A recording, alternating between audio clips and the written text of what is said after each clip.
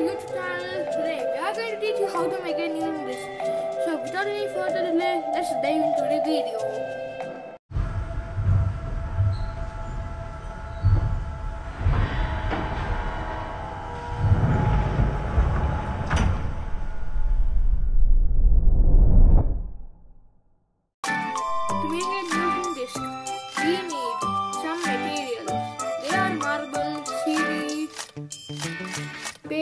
Scissors, pencil, eraser, glue,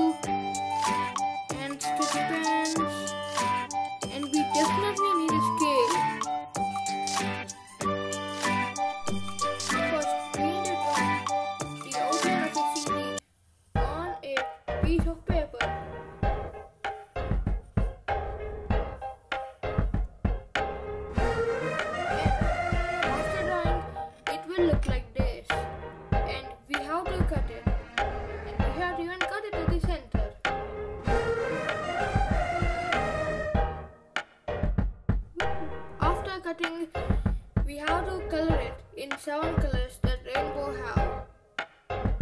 And then we have to paste it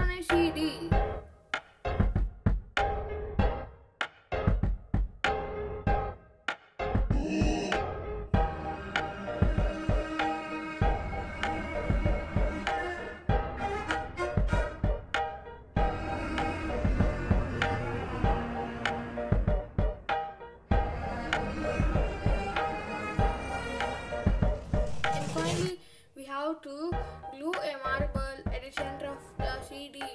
So that is why we have even cut at the center of the paper. Or we'll cut at the center of the paper. And we have to let it dry for some time. And after drying it, we have to just use like a top. And it will rotate.